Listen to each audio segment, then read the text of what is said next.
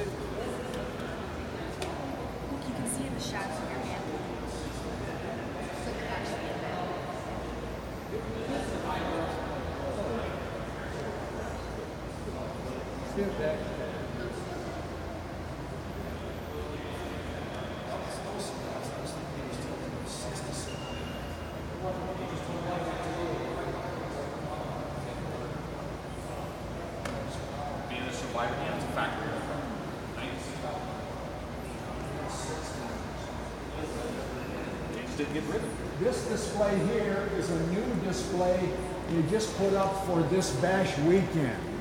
And Oh. Mike Yager, the guy that runs Mid America, he owns this last C4 and he brought it with him because he's being inducted into a Hall of Fame.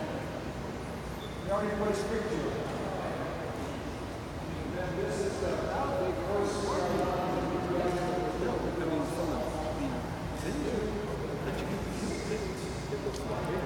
get in here, you feel like